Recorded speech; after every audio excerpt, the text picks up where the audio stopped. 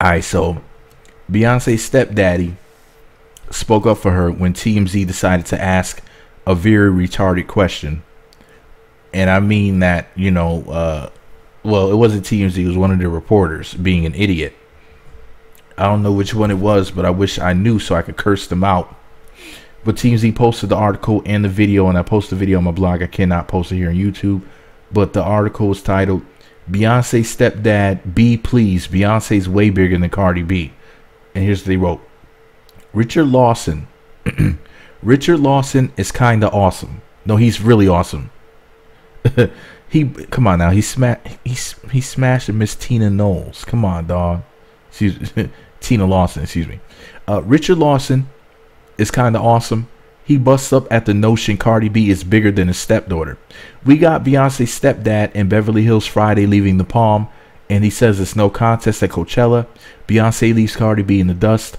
Tina Knowles' hubby doubles down and says Beyonce is bigger than everyone on earth, but does reserve the number one spot for someone else in the universe. But he cautions B had better watch her back because Blue Ivy's coming for her. Here's the thing, man. How dare they insult Beyonce by comparing her and Cardi B?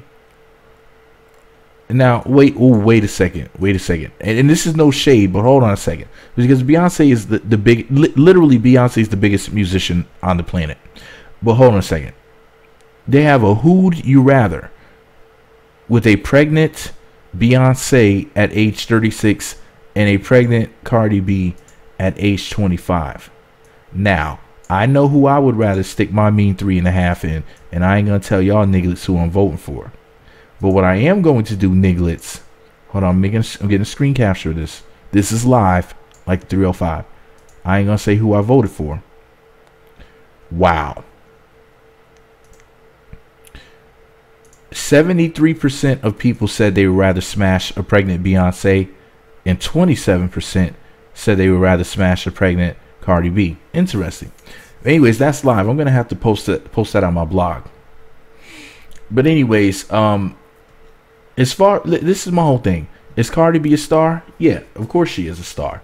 Is Cardi B talented? Yeah. Is Cardi B fine as hell? Oh yeah, Cardi B is very sexy.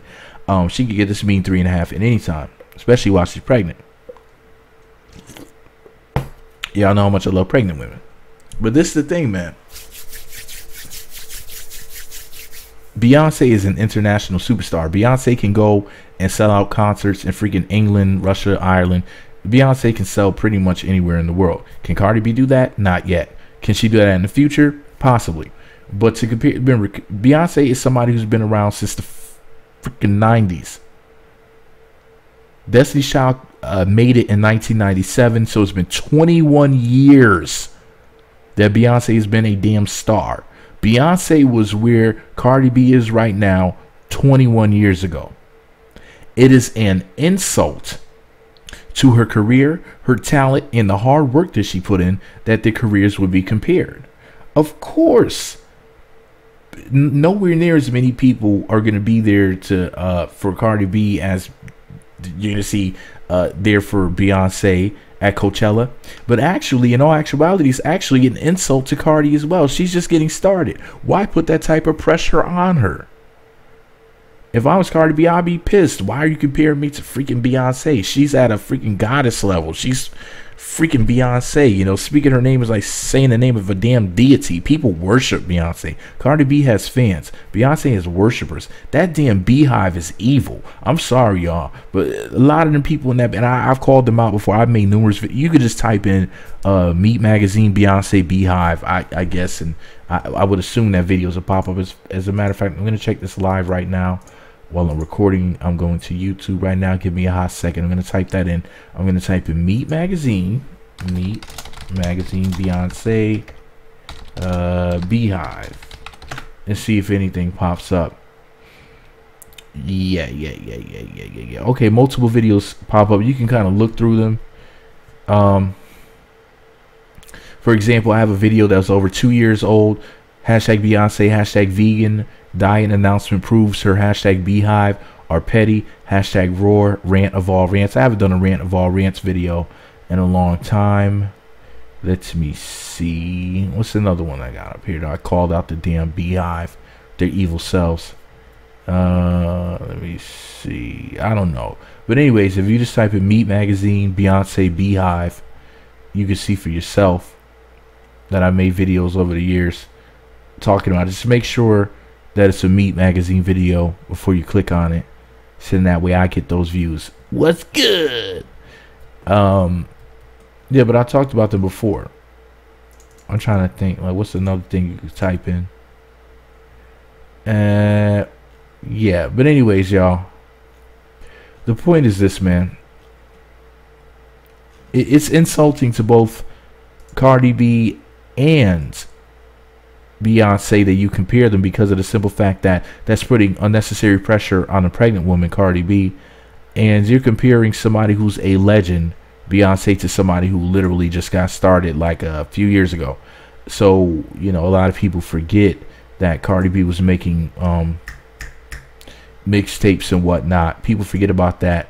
You know, uh, they just want to go and uh, you know, they just want to go and talk about um, the music that she just put out the last six months or so and act like as if she just sprung up out of nowhere, and that's not true. Cardi B did put in work, nowhere near as much as what Beyonce did, but then again, she's just getting started.